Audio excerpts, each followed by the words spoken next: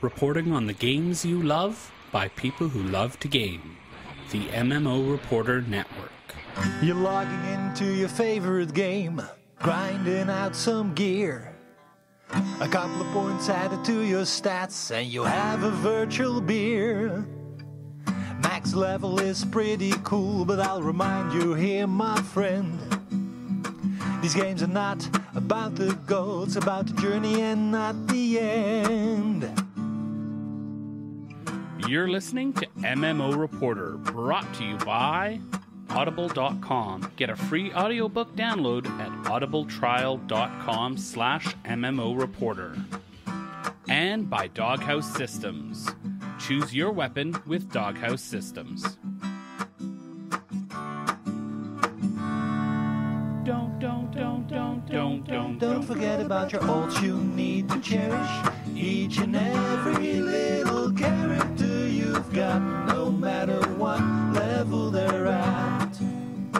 Don't forget about your alts you need to cherish. Each and every little. Hello, everyone, and welcome to another episode of MMO Reporter. This is episode 163. I'm Chris, and I am joined by my favorite gentleman whose name implies the need for a razor, Mr. Harry Hall. Hello, Harry. I do have a beard, so you are kind of correct, but I don't need a razor. No, I'm keeping it, damn it.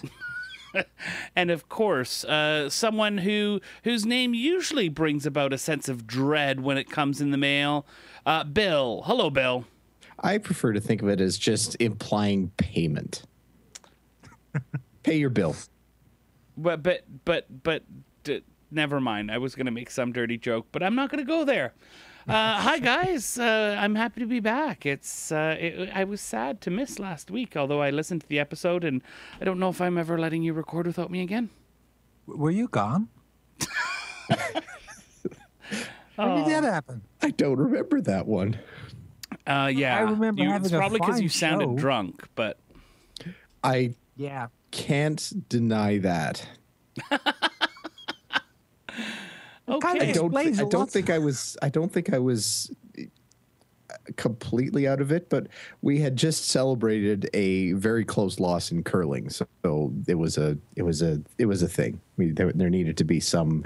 It was. It was the combination of of celebration and consolation, drinking. Right, right, right. Well, that just doesn't sound right because this show last week was awesome and crazy all at the same time. Uh, all right, let's get into what we've been doing in games because, funny enough, that's why we're here. Bill, why don't you start? Well, and I, I'm starting to feel like a broken record because you know when I came back onto the podcast, I inst- I've got like eight MMOs installed on my computer right now, and I have played precisely one for I think almost a month now, and that's been Guild Wars 2. Uh, still playing the the or was playing the Escape from Lion's Arch event. The the new event is up now. The the attack on Lion's Arch or the the retaking of Lion's Arch. I can't remember what it's called now, but I haven't even played it yet. But I am ready for that. But still having tons of fun in Guild Wars 2. So yay that. Awesome. Um, I I did slide onto the interweb and find uh, a new game on Harry's recommendation to for threes. I scoured and searched and found a. I'm not sure how legitimate it is, and I don't even really want to ask. But uh, if you go to threesjs.com, you will find a, a web version of the game Threes. And that is a great way to make sure that you will waste a crazy amount of time. If you're ever, for all you office workers there that have to pretend like you're doing work on your computer during the day and it looks, it's bad optics when you're messing around on your phone right in front of you, this is perfect because it minimizes behind an Excel spreadsheet beautifully. And it's, it's, it just works. And it's, it's a very, true threes recreation. So the the only thing that I've noticed is that uh, on the i on the iPhone or on the iOS device, you can sort of preview where your new tile is going to go when you That's when you what I'm swipe. missing. You can't do that here, and that's the only. I mean, you could. It's a little bit more of a challenge, but it's it's fun. It So- misses the music and the sound effects too. It's really bare bones because one of the things that makes threes so charming is the sounds, the voices, the music. It's it's really a high quality little game. Yeah. The the music is actually not too bad on the site. It's it's not it it does music on the site? get- Oh my Yeah. god, this is so addicting. It is, isn't it? well, and and for those of you, and this is going to be your Android service oh, here oh, that for is those the, of you that's that the actual music. I just I Did- didn't know it was. Oh you just have to turn it up for the for the you Android people out there who are really sad that you they have to work so hard to get a threes experience. I found fives in the Google Play Store, and it's actually not bad. It's it's essentially the same experience with slightly different math. I'm You're adding sorry. twos at threes instead of ones and twos. Stop playing. Jeez, this, No. I realize this is a step Ah. up from Flappy Bird, but there's there's a little bit of diligence I'm expecting from you guys here. At least respond in like at least monosyllabically on what you guys think of threes. Uh, Good. Excellent. So, uh, Harry, I'm going to give you ample ramp up warning here because I'm going to throw to you. That's all I've played this week, Harry. How about you? What? Wait, me? oh wait. Damn no, the other Harry. That's what I was. It's confusing sometimes. It's hard. I know. I have to go on a quest to find myself. Um, okay, I I uh, I haven't played any MMOs this week. it's shocking, I know. Gasps of uh, no, I I um, first of all we uh, I played Civilization Five uh, solo, and then I played Civilization Five multiplayer. And by the way, we discovered something that w- really wasn't fun and could have cost, uh, uh, could have broken up a, a good friendship, because Civilization Five is is fundamentally broken in the multiplayer department.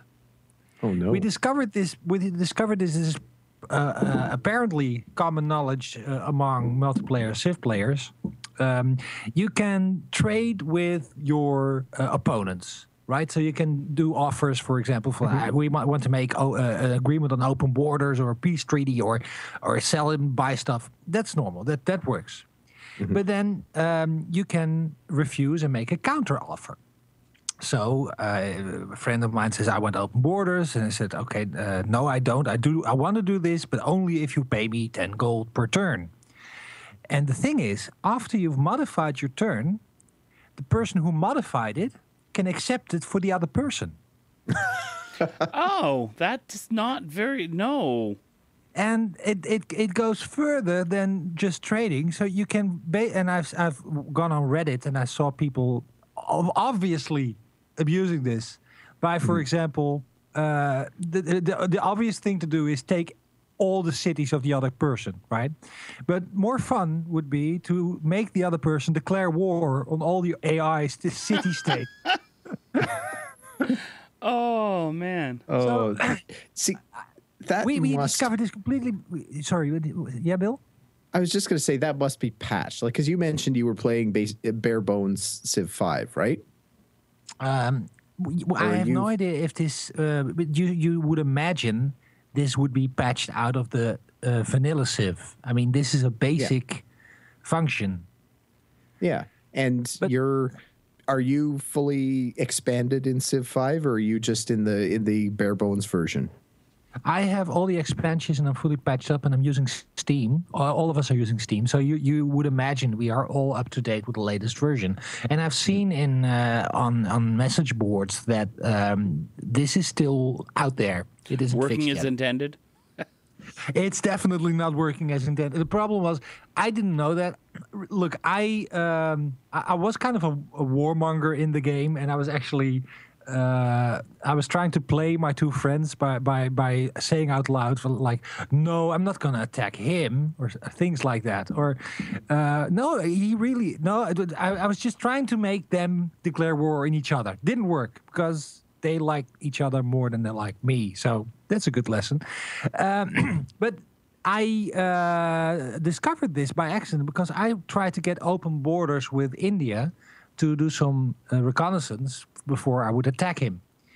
Um, but somehow uh, he kept refusing it, and then I modified it, and then I accepted it. I saw the accept window and accepted it again. I thought maybe he did notice, and he agreed with my proposal. And then he was like, "What happened? Why? Why are you in my borders?" And then we just discovered that this whole thing was a bug. And obviously, I felt guilty, so I gave him all my furs and gold and whatever because I don't want to. I don't want to cheat. I, I like to play the game. I, I like to play the cheat at a game. So that makes the game a lot less fun. Hmm. You know, if, if that hmm. option is there. Now, I really, I don't enjoy, I, I don't mind losing a game. I'm trying to win, but I don't mind losing, and I definitely don't want to wi- win by abusing a, a stupid system. So I wasn't winning, by the way. Even even by cheating, I couldn't win because because my, my United States is is broke. It's unhappy. It's underproducing. It has no army. I I, I, I declared war on on my friend with uh, literally one archer. That- That's all How'd that I work have. out for you? I apologized and said it was an accidental declaration of war. and that worked. That's hilarious. Actually, it was accidental in the sense that I um, um, accidentally uh, thought, what would happen if I press, press this button? I, Anyway, I feel it- like it- Harry, uh, you're the, just t- over the last couple of weeks, you're fixing. Yeah, I feel like you, it, the the analogy that's in my head is that you've basically gotten tired, or e- during the, during the day or the week, you get tired of doing crack, so you break out the meth when you switch between threes and Civ. Actually, that's not that far from the truth. And and to to to, to get my methadone fix, so to say, the the the, the substitute that's less less damaging, I, I installed Sid Meier's Railroads, which is Oh, yeah. just the same freaking thing, but then with trains, which Yeah. is awesome. Damn it. it's actually a lot of fun. You just build your railroad, build your empire. It's it's fun. It, it was in this Sid Meier Humble Bundle. And So that- finally, I tried Sid Meier's Pirates. From Um, railroads to pirates. I, I, th- th- they should really combine those three in one big game. and I played Sid- threes, but th- th- Sid uh, Meier's civilization of railroads and pirates. wouldn't you buy that? I would certainly take a long hard look at it. Yes, I can't deny Yeah. that.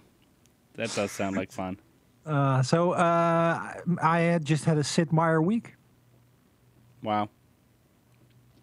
Uh, as for me, I've I've been actually fairly uh, limited in my time in game. I've been spending quite a bit of time in WildStar, really trying to get the classes under my belt, doing a lot of dungeon runs in the last few weeks. Got a, a bunch of videos up on YouTube about those dungeon runs, so if people want to check them out, just check out our YouTube channel. We'll have all the info at the end and um, trying to make some strat guides for for the bosses. And I have to say, one of the coolest things about WildStar is that the first boss in the first dungeon in uh, in in the exile side of things for WildStar is equally as hard, if not harder, than all of the first raid bosses that I have done in any game. And it is the first boss in the first dungeon. And it's already more challenging than that. It's just um, you know, and I've got for for those of you who are watching the live stream, I've got um, I've got the the video going now, and uh, it, it's a combination of phases. Like usually, the first few bosses in dungeons are tank and spanks, right? Right. You go in and you get used to how things work, and and you do your thing. But this first one has three distinct phases. The first phase has this big uh, plus sign or cross or whatever uh, of a telegraph where you'll get damaged if you stand in it, so you have to dodge out of the way. That's not too bad. The second phase has uh, the boss is no longer killable. You have to kill the four. Uh, they're not ads because they're there the whole time, but the four other mobs around the area uh, while glowing stun orbs are going around in circles around there. Not only that, though, uh, each party member will randomly get selected and have an AoE put on them. But the thing is, you have a little bit of a warning that that AoE is going to become sticky and attack. So you see the little warning, and you have to place that over that little ad that's there so that they get extra damage while you're fighting, doing all your regular stuff, dodging the stun balls. And then the third one, the stun balls stick around, except now there's three of them. The AoE thing is still there. Plus, there's this huge glyph that goes on the ground where there are only four spots in the entire room that you can stand without getting absolutely, absolutely smacked. Uh, and oh, by the way, yeah, at every phase he disarms you, and you have to run around and find your weapon. That's the first boss in the first dungeon, and I am having so much fun. I'm just playing threes. Oh, come on. My impassioned speech about how much fun I'm having in Wildstar, and that's what I get? Oh, it's so much fun. I forgot about WildStar this past two weeks. Every th- every time you mention it, I think, oh wait, I can play that, and then I go back to Civ. So I'm sorry. Maybe next week I'll, I'll try to find that that same boss. And But what do you think about the whole idea of starting out challenging? And it took a few wipes before we got it, but we had fun. And I mean, they're still tuning. It's beta. DPS was a little out of whack for some of the classes.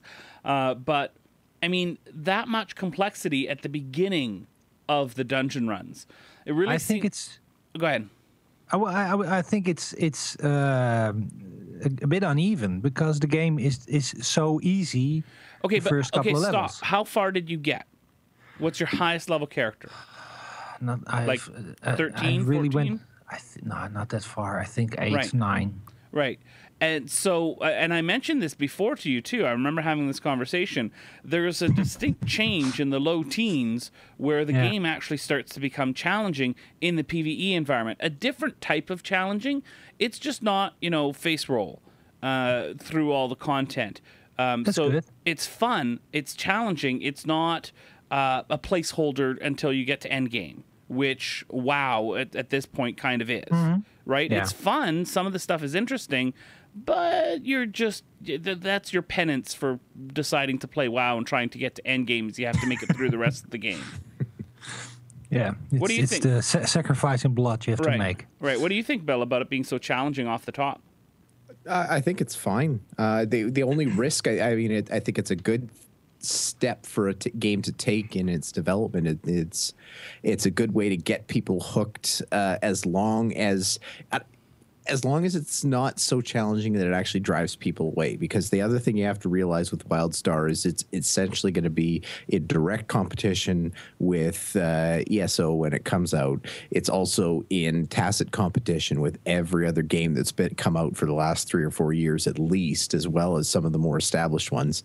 So there's a line that's difficulty is a good thing and it will engender a lot of praise and critical acclaim and get people to pay attention to your game that way but if you cross that line in difficulty people are just going to go to the more easily rewarding experience so to get wishy-washy about the whole thing it sort of depends Yeah, If th- I th- may, it wasn't uh, challenging in a way that is, and I was worried about that too. It's not challenging in a way that is undecipherable. It's not like we have no idea what we're doing wrong. It's just hard. It's it's easily deciphered. You just have to get the muscle memory and get the right steps down. But there Yeah, is no, something um, because I remember uh, entering the first dungeons in Guild Wars 2, and there was a lot of complaining, a lot of complaining that the, the first dungeons were too difficult, and they were. Uh, not not not too difficult as in uh, it was impossible, but it was a very steep learning curve there. And mainly that had to do with the fact that you didn't have an easy uh, Trinity distinction between the classes. You just had to relearn a whole new strategy of dealing with trash, but trash mobs. But it was still a, a fairly difficult challenge to get to the first story dungeon on the normal difficulty. Yeah, I still And- struggle with Guild Wars 2 dungeons. And I'm, I'm not sure that is a good way of, because I was actually a little annoyed by that because it the rest of the game is not uh, easy in the sense of, of blowing through everything. You have to keep your mind on the game while playing it, which is good. But the jump was really big in the dungeon, and I want to be taught all the dungeon mechanics in a natural way before they throw Right. everything at me. I found that that Guild Wars 2 for me it was what I was talking about as, as frustrating, which is I don't know what I did wrong. We just all died. Yeah, yeah. Whereas I, I don't get the same thing from either ESO or or WildStar. And ESO was the other game that I played, Elder Scrolls Online. Not tons, but I, I had a lot of fun actually making a oh gosh, I'm gonna try and remember Dragon Knight. No, what's the other warrior sort of class ish? Boring, What's that? Boring. boring no the the there's the the shadow blade or whatever the sorcerer the dragon knight and the what's the other one anyways Nightblade. Nightblade. nightblade no but other than the nightblade the what's the the four, second warrior archetype sort of thing Does this matter for the story? well not really it's just i was i was I played as an as an uh, as an orc going around with a big two-handed mace and that was uh f- amazingly satisfying really really tons of fun and and really enjoyed uh, going through the early levels again with that rather than my sorcerer I didn't Is, get maybe is, is is that? Do you get because one of the things I always roll mages at first. right Maybe the, is is is the combat subs- substantially better if you wield something that can hit rather than throw magic? I found it more fun. It could have been that I got a little tired of the sorcerer. I'm not one to be a very magey sort of class, but I I I, I rolled one the first time around because we sort of split up who was covering what for the the beta weekend, the first beta weekend a while back, and I was the last one to pick, so I got sorcerer. Great way to pick your character class. Yeah. Uh, but uh, yeah, it was. Uh, it, it's uh, maybe I'm just not a sorcerer type of guy. Lots of people are enjoying it. I'm just not particularly one of those. I wasn't enjoying it either, and that was just. Uh, but uh, never mind. I maybe I had more fun playing as a sorcerer with a two-handed sword. Uh, so maybe you're right. Maybe your hypothesis is correct, and uh, and it's more about having something to hit. Because it man, it was so. satisfying to wind up, run in while winding up the heavy attack, and then connecting as I got close. Oh, that was satisfying. I'll give it another go. There you go. All right, uh, that's it for what we've been doing in games. So let's go on because apparently, uh, uh, apparently, there's a little bit of trouble in in WoWland. So uh, let's move on to the news.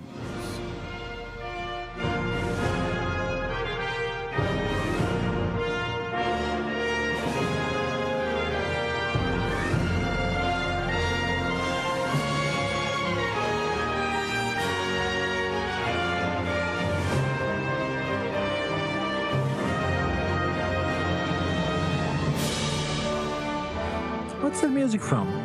EverQuest 2. I, forg I keep forgetting. It's great.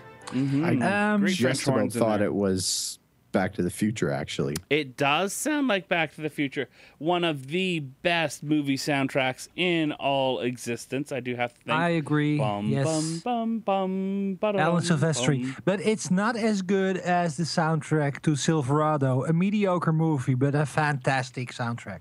I'm sorry, there's nothing ever that will beat. Look it up. You'll you'll agree with me because it has all the things No. that will make you giddy. No. Play Silverado and you'll just know. But Hey, you this know is what we're, not going to. good- You, you look up Silverado. I'll talk about World of Warcraft because I have a public service announcement to everybody on the World of Warcraft forums. It's time to freak out and get angry because they are every, everybody in the World of Warcraft will be completely less powerful. All your damage will go down. Everything you do will have less impact. Well, actually, no. Every everything you do will be exactly the same, but the numbers that go with it will go down. And I know that is a crime against humanity. I think the courts in The Hague should be notified because your numbers will go down, but so will those of the enemies. So everything will basically not change. And I'm looking forward to seeing the forum discussions on this they're doing this to to to squish the, the every basically World of Warcraft stats went out of out of whack. Every damage number on the higher levels w- went so crazy. We've talked about this before. World of Warcraft, is- uh, the people, the de- developers have talked about this before. They were actually uh, uh, tongue in cheek uh, considering turning damage into mega damage that you would hit for three mega rather than three million damage. They didn't want to do that, so rather than Sorry. that, they're just flattening. How much is the Sorry. damage? How, uh, how much is it? Is it over nine thousand? It is it is way over nine thousand, Oh, and, okay, and thanks. everybody knows that's the that's the threshold. If you go over nine thousand, you have to scream and change things. And So that's what they're doing. get- yeah. Yeah. So, but what they're doing is, uh, let's say a mob has a thou- uh, has a million uh, hit points, and now Sorry, they're, they're you said a mob, and I'm thinking of the WoW forums and how fitting that is. don't don't antagonize them even more.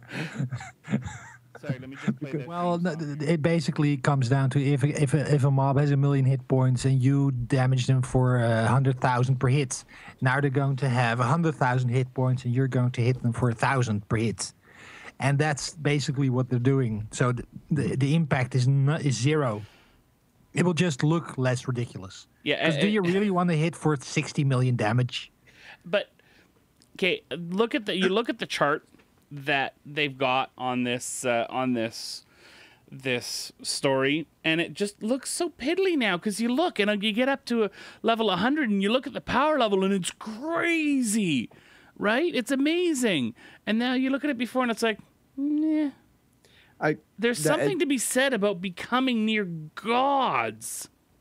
But they need to go ahead, Bill. they did not, they did not do a good job of keeping the community calm with these. I, I, I really believe they're trying to incite rage and discussion and controversy by by putting up graphs that look like this. I'm sure if you actually put the full uh, vertical scale on there, it probably wouldn't look so ridiculous, but by virtue of the way they drew those lines and the scale they drew them at, it just looks i mean it's like deliberately it's like trying for a fight it's basically like shoving the community in the chest and say you want to go let's go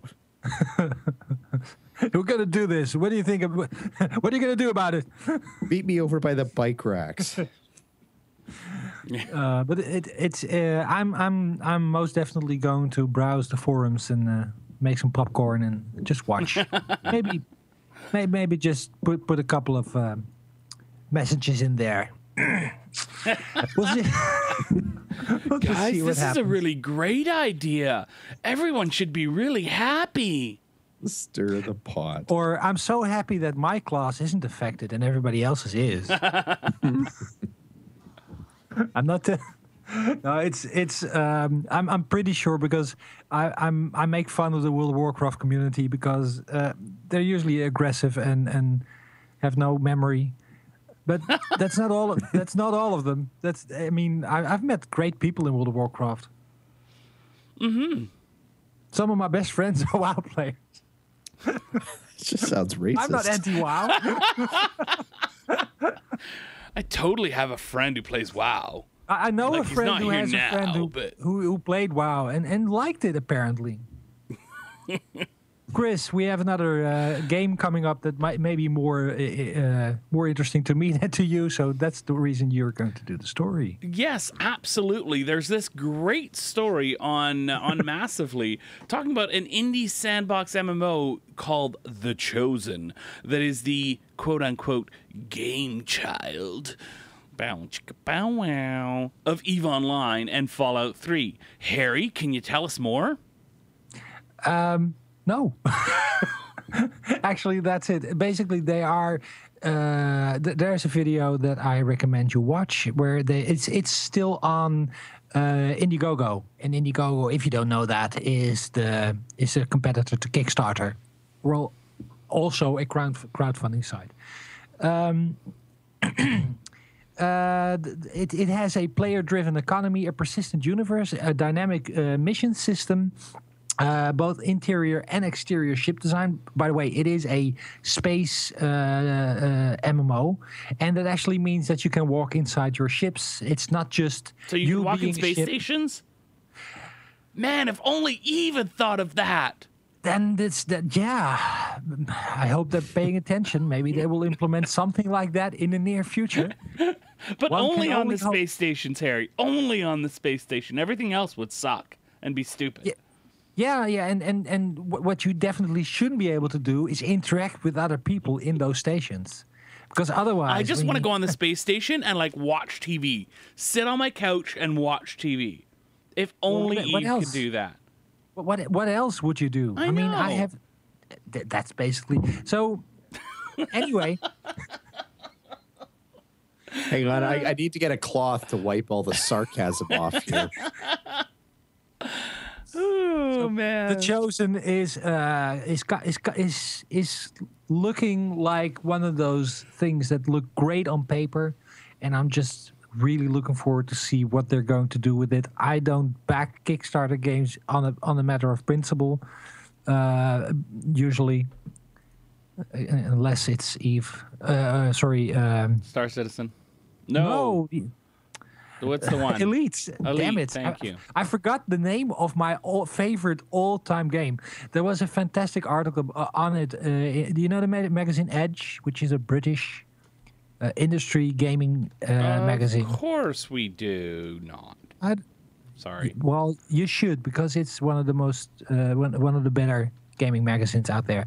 And they had a 27 page uh, special an interview with David Braben, the creator of the uh, of the game, and apparently the game is all. Uh, and I'm talking about Elite now. Is is is very very far along in the combat department, and it has full Oculus Rift support. And apparently, if you have your Rift on your head and you're sitting in your cockpit, you are there. This is all I've been asking for since I was 11. That's, that's enough about Elite. Uh huh. Um, Because we're not yeah. talking about that right now. No, but we should. We should actually talk about Elite. We should only talk about Elite. Do- Okay, Do you go. know that Elite has a, a full representation of the entire galaxy by procedurally generating most of the stars we don't know, but actually placing the stars in locations where we know there are stars, planets around them, and you have the ability to go explore the galaxy and find stars and star systems that nobody else has seen before? Does it dynamically add new stars as they're discovered? Does it does it Uh, actually hit the NASA database or it, it it actually has all the stars there and you can go ex- and and the stars and the systems are dynamically generated uh, or, or procedur- procedurally generated I feel you like can we're discover new life you can go out there and you can stake your claim This is like the universe. Oscars, guys. When the music starts, you're supposed to move along.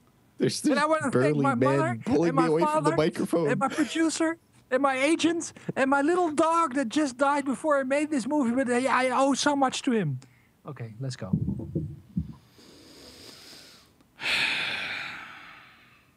What did you think of the music, though, Harry? It's the be- the best movie music ever made. That's okay. Uh, it's it's not as good as as perhaps uh, I don't know what I'm going to say, but you could talk about the next story. Well, I could, but oh yeah, I, I should actually. uh, Neverwinter is going to add a new expansion, which is Ice. Ice. Ice. Damn it. Neverwinter is going to add a new expansion, which is Icewind Dale. Yay! and uh, this name should be familiar to people in the D and D uh, who who are uh, steeped in D and D lore or are aware of the games that Bioware did that were uh, based on the D and D license. And there is this theory going around uh, the office of MMO reporter that Neverwinter is basically picking all of the old Bioware names uh, or uh, uh, games uh, expansions that were used by Bioware and going down everybody's fuzzy childhood memories and trying to capitalize on that. And maybe they're doing that, doing that in a good way because Neverwinter was actually is actually a pretty good D and D MMO. So, Bill, what do you think of, of an Icewind, Icewind Dale expansion for Neverwinter? Would it make you play the game? I think so. I think I could get into it. I mean, Neverwinter's always been right on the cusp of a game that I sort of want to play. It's one of the zillions of MMOs that I have installed on my computer that I don't play. So, yeah, I, I, I could get on for that. I mean, Icewind Dale is is one of those just transcendent game experiences that I had for both eh, both for Icewind Dale and Icewind Dale Two.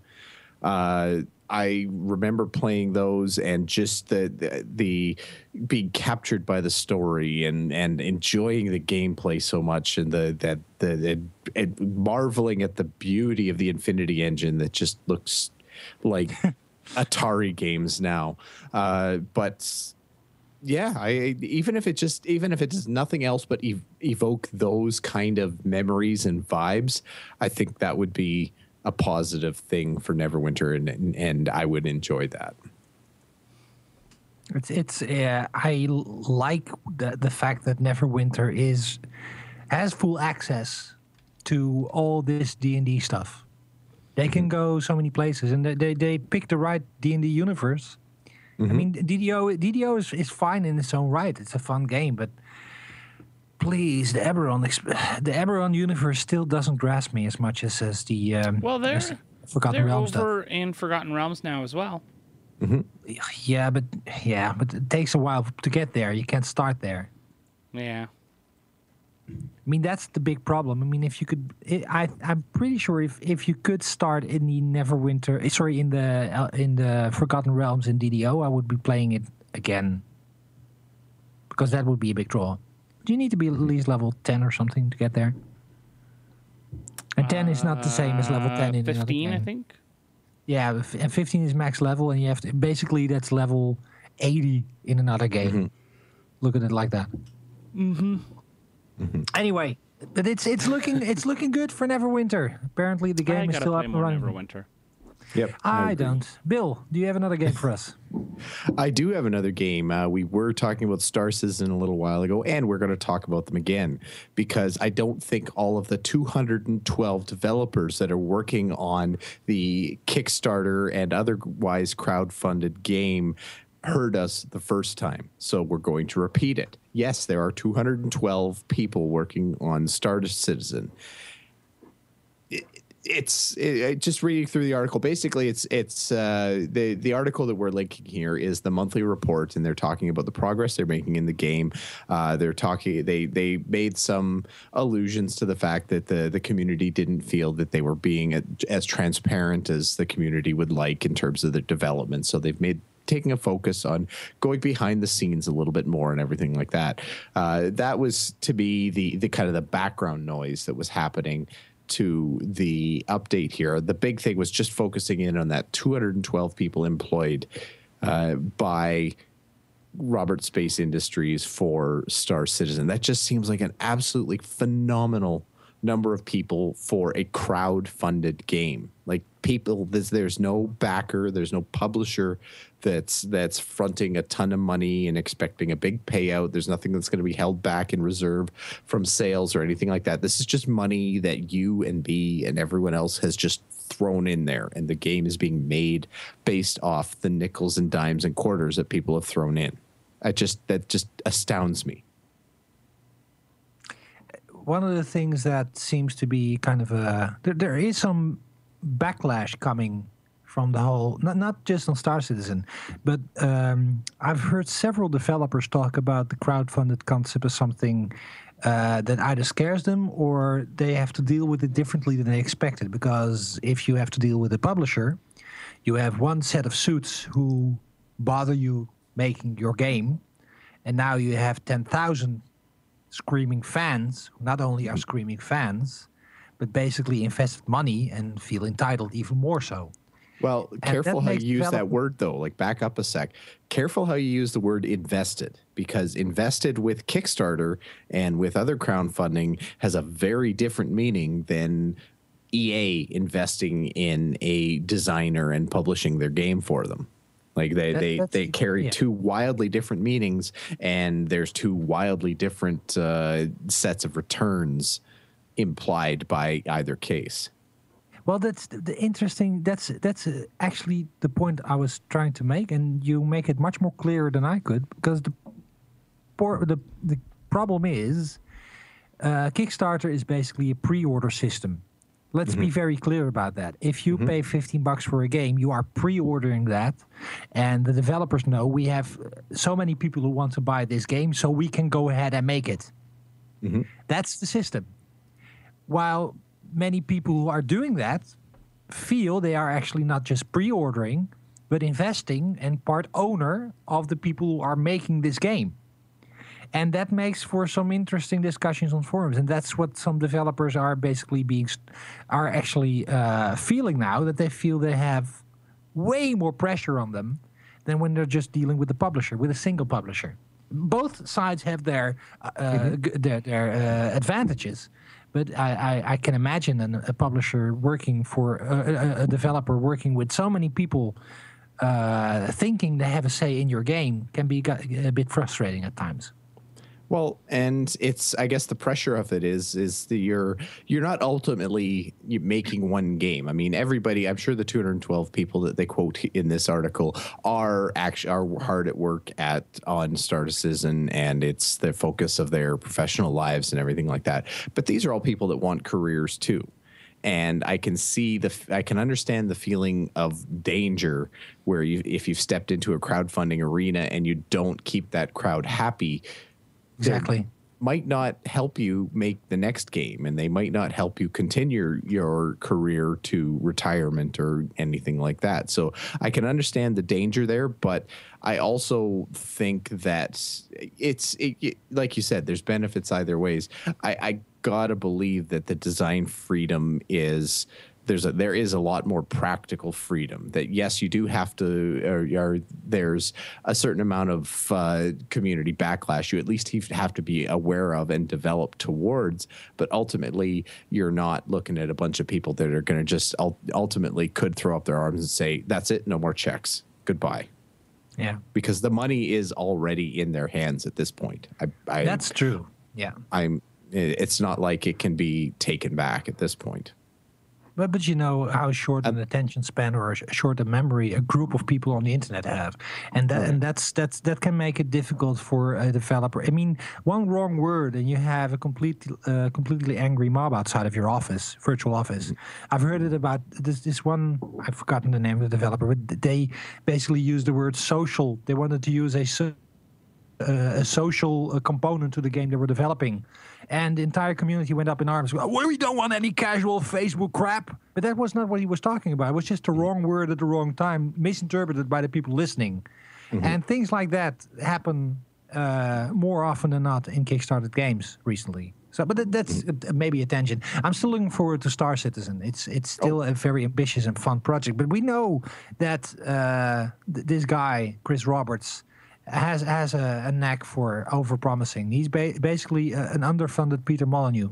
An overfunded Peter Molyneux. underfunded? Wow. Sorry. Uh, overfunded Peter Molyneux. Yeah. Yeah, I don't think Chris is going to have that problem. Roberts, that is. uh, all right, Harry, why don't you give us our last story here?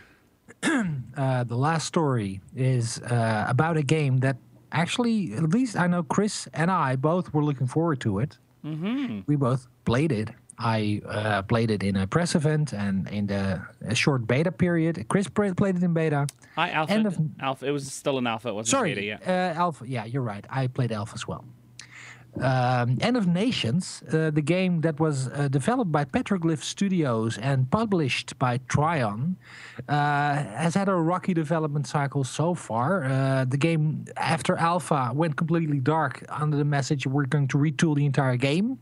After that, they said we're going to retool it so much because it was an MMO RTS. We're going to retool it so much that it's going to be in MOBA.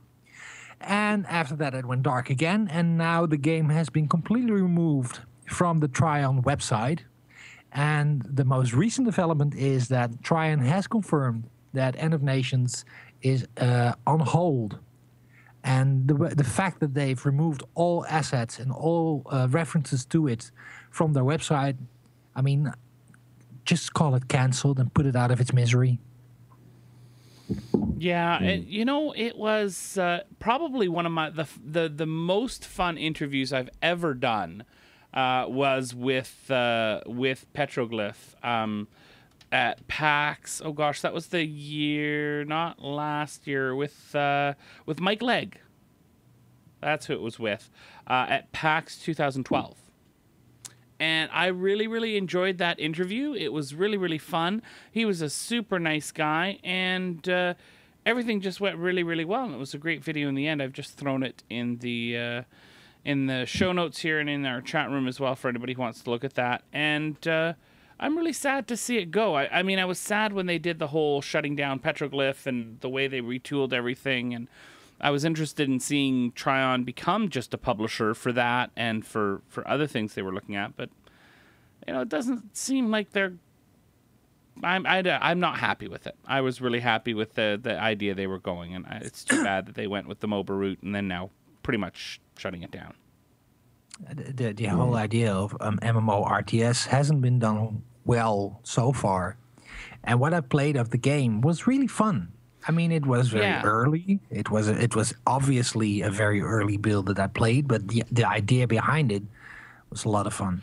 You know, and for those of you who don't remember, the idea was that uh, the battles would be RTS, but the the results of the battles would affect the world at large, and you'd have a character, your general, and that you would grow for the character progression. But the way in which you had the living world was the battles that you were fighting would matter. The results Also- would change the world. Also, what I what I really appreciated was there it was no building queue in the traditional sense. Because one of the things I hate about or hate I'm I suck at at StarCraft and, and games like that is building your base and pumping out units and then discovering that while you're just building your second tank, a Zerg comes in and blows you out of the sky, out of the water. Right. And this they didn't do that. They had this system of uh, creating your your basically your deck of units before you go into battle with and uh, your reinforcements as they call them would be called in on the timer but not uh, based on your infrastructure Right. so you could basically call in your units and repl- re- replenish them as a time uh, as a cooldown wound down, uh, rather than having to worry about the base. And that puts you right into the action, puts everybody on equal footing except for the choices they made before battle, which Yeah. would make an interesting strategic choice at, uh, at first. So all kinds of fun little ideas that made the game. At least I was uh, anticipating it uh, until everything went uh, went bad. Yeah. No, it's it's too bad. I'm I'm disappointed. Uh, but it is what it is, right? These things happen, unfortunately, in the industry. Um, yeah, that's sad. Any final thoughts, Bill? Um, Not really. I, I've I'm almost completely end of nations ignorance, so I I can't really comment one way or the other. I mean, I I always any game that dies before it really has a good chance is it seems a little bit sad to me, especially if there is some critical acclaim, obviously, which you guys did appreciate parts of it for sure. It, it seems a shame that it never got its shot, It is a shame. right? It's a shame. But then again, we don't know. Maybe, maybe what we because you get you get a vertical slice when you're playing an alpha. That's just uh, a couple of things that work well. They tried that out. Maybe the entire game because one of the things that was still up in the air was the both the payment model. They said we're going to be completely free, Right. And the problem and the problem with uh, the actual because we never saw uh, the living world stuff. meta we never saw. yeah. we Never saw the meta game, and if they if that was the big problem, then maybe it's a good thing because you cannot do that half-assed. No. For sure. But this again, the sad part is we'll never know. Yeah, That is absolutely true.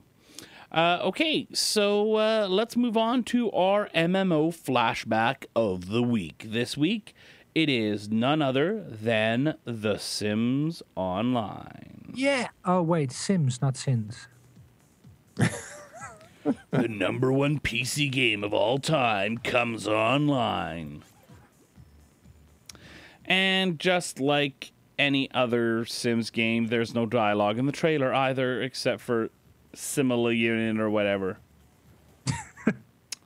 Simlish. Simlish, thank you. Yeah. Yeah, you pay with simoleons. Thank you. I wait. thank I you. know way too much about this. Yes, yes, you do. uh, all right, now, so the a couple of interesting things about the game. It was released December seventeenth, two thousand two. The economy was run entirely by players, but uh, unfortunately, bugs in the game let players duplicate things, which uh, surprisingly, shockingly, ruined the economy. The game also never had a really great system for buying or selling properties and had uh, more scams than your f- typical Friday night in Eve. In March 2007, EA assembled a team of 17 people to push significant updates and to rebrand the game into a game called EA Land. the game let players create and sell their own content, and could, you could buy in-game currency with real cash. No. Well, the problem with EA Land is you you walked your sim up to it, and then guys in business suits mugged you and stole your money. That was basically the game, and Surprisingly you had enough, to pay for that. surprisingly enough, in April 2008, four weeks after EA Land had launched, it was announced that the development team had been disabled and the game would be shut down on August 1st the same year.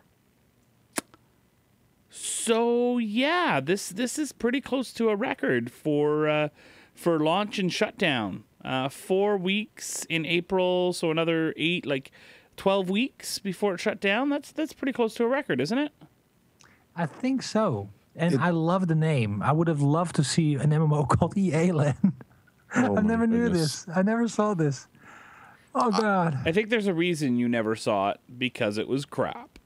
Isn't Now, there, there has to be a Microsoft Land now too.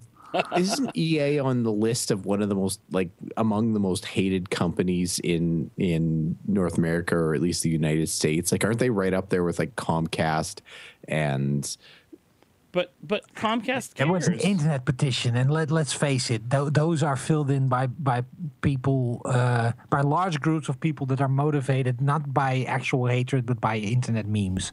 And if, if there was a petition up there for, there was a there was a survey, an, an open survey, uh, which company do you hate most?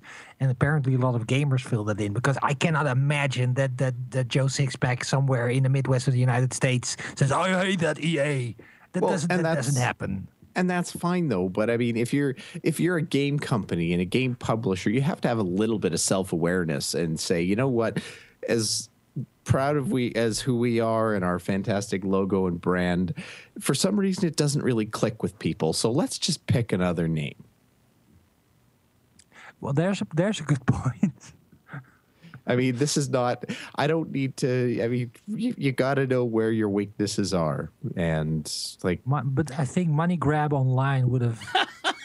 yes Been more honest. i guess if you wanted to go for honesty points yeah that Yeah. would probably uh we want your money.com. Yeah, that's, well, that is that that is our flashback for the week. Uh, Harry, uh, can you please talk about our sponsors? yes, because your voice is breaking. I think you are so I moved. don't know what you're talking about. Yeah, your voice is breaking. You're, what are you, 14 now? Um, Fifteen. Uh, we have to thank our two um, amazing sponsors who make all of this possible and more. Uh, first up, Doghouse. Doghouse Systems is a fantastic company where you can order uh, your own PC. They will build it to you, for you and bring it to your house. And if you order a PC and use the coupon code MMO Reporter, they will double your RAM for no extra charge. So that is a fantastic deal. MMO Reporter at doghousesystems.com. Second up is the fantastic audible.com, which is a service that will provide you with all the audiobook pleasure that you will need in a lifetime. Uh, their monthly deal is fantastic. You get a free audiobook for your subscription per month, plus all kind of extra stuff. And you can try it out for free by going to audibletrial.com slash MMO Reporter. Your first month is free. The first audiobook you get, you will keep forever, even if you decide to cancel your subscription subscription afterwards. Forever, Harry? For as long as Audible exists and the DRM doesn't go off, All right, which is like two weeks. so listen to it quickly. Bill, uh, if people want to get a hold of us because they love uh, everything that they do, they don't like maybe you know maybe they're not super happy with the way in which Steve edits the show, but you know they want to say something. Uh, where can they contact us? Yeah, thanks a lot, Steve. Um, you can head over to our website over at mmoreporter.com. Shoot us an email at mmo.reporter at gmail.com. Visit us on Facebook, facebook.com slash mmoreporter. Tweet at the various MMO tweet Ds at MMO underscore reporter, at Harry Hall, at Leonor, or at myself, MMO Bill. That's actually at MMO Bill, not at myself. At myself is actually who's got that handle? That would be a good one. Tweedledum Anyway. should be a good handle. Yeah, there you go. Anyway, you can also give us a call at 616 666 6778. Leave us a voicemail. Let us know what you think in real time audio, cutting edge, bleeding technology. We can put your voice on the internet. By the And way, at myself, at myself has zero tweets, zero follower, uh, zero following, and 18 followers. So Tweedledum also exists. Three tweets, two following, one oh, and six followers. Do you think they're Damn it. following our YouTube channel? Because everyone else should. Leonor is ta- is putting an incredible effort to start putting all our stuff up on YouTube. YouTube.com slash user slash MMO Reporter Network. Awesome. Well, thanks, Bill, for a fantastic show. Oh, thank you. I, I feel fantastic. And Harry, as always, thank you for getting up ever so early. Playing threes, can't talk. of course you are. Uh, all right, and thanks to everyone in the chat room for hanging out so vid- vigilantly yet silently as we discuss the world of MMOs. Thanks to everyone for downloading the podcast week after week. We really appreciate it. We hope that you download the podcast again week after week from now. Uh, and of course, we hope to see you in game. Don't, don't, don't, don't, don't, don't, Don't forget about your alts you need to cherish. Each and every little character you've got, no matter what level they're at. Don't forget about your alts you need to cherish. Each and every. Can anybody tell me that's not how you play Sims? No, you, you, you find the, the remove censor patch and you put everyone in the shower. That's how you play Sims. Oh. that might be how you play Sims. I personally just build a house Oh, with four, four walls and no doors. And have my Sims die in their own filth. Uh, or or uh, uh, put a bathroom in there, but wall it off. That's just cruel. I've seen people do that. That's just terrible. Uh, I'm not one of those people.